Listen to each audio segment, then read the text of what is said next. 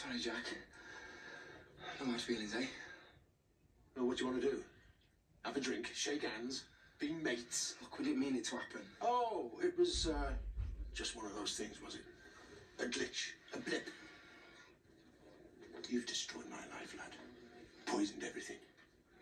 And here you are, stood in front of me, smirking. No, look. Where is Jack?